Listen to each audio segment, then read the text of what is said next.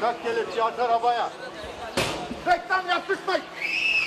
Başlar. Zabıtalara kızdı, ekmek teknesi tezgahını yaktı. Polisler seyyar satıcıyı gözaltına almak isterken ortam daha da gerildi. Arkadaşlar tamam arkadaşlar. Diyarbakır'da zabıtalar seyyar satıcı Cihat Osman'ın tezgahını almak istedi. Portakal suyu satarak evine ekmek götüren Osman tezgahını zabıtaya vermek yerine benzin döküp ateşe verdi.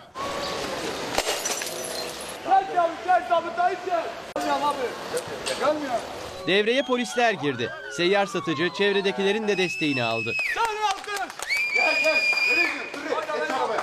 Polis gözaltına almak istedi. Kalabalık ekiplere engel olmaya çalıştı.